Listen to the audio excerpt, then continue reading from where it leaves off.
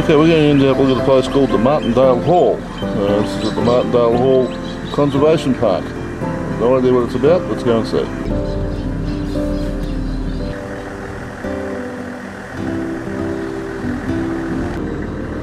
This is the coach house.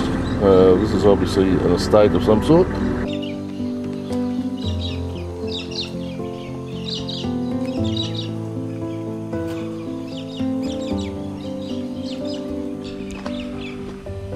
Now this is heading in off the main road and uh, we followed in to have a look at a uh, an old town, a historic town. And we come across this.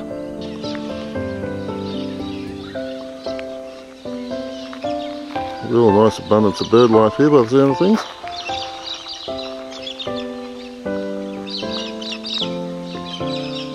Parrots by the sound of things.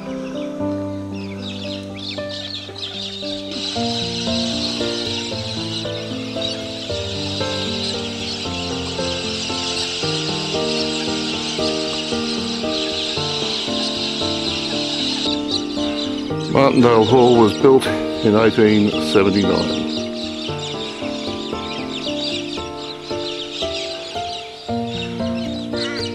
This is Mintaro, this is in the uh, near Clare.